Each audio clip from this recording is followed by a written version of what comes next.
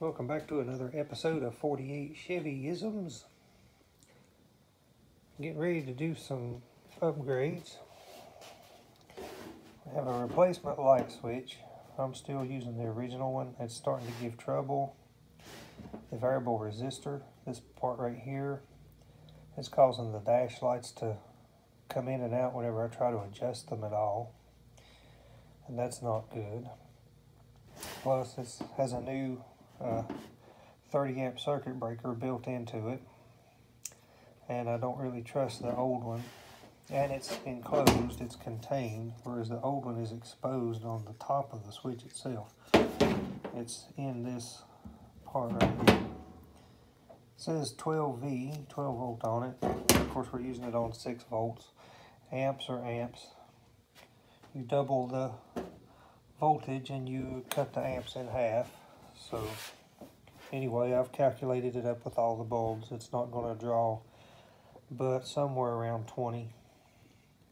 If, if my uh, if what I found was correct on how many amps the headlights draw.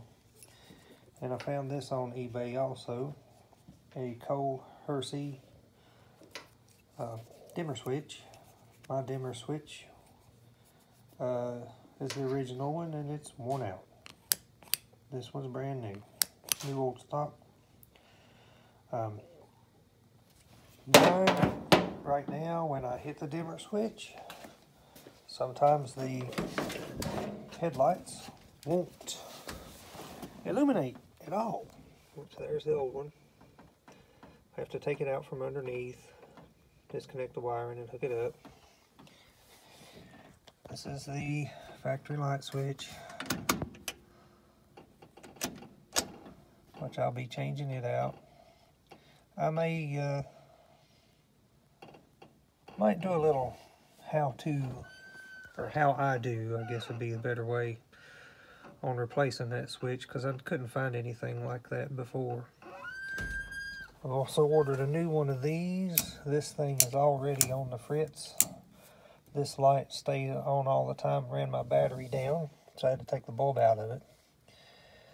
So I'm getting a little different flavor that also has a four-way uh, hazard switch built into it. Just in case that might ever be needed. So, some upgrades we're getting ready to do. And keep working on this project little by little. Of course, I've got seat belts in it now. Upholstery, redone by yours truly. Back seat with seat belts. Carpet came from Dollar General. Two $10 carpets. Some leftover floor mats. Everything's dirty right now. But that's okay. I'll get it cleaned up. Nothing to see there. Clock's still original. Does not work. Don't know how to fix it. Not really a priority. But we get this other stuff little by little. Make a nicer rat rod. And yeah, I could probably use an ashtray.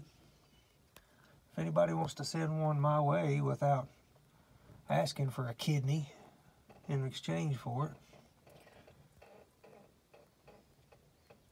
So anyway, this is where we are at this point in time.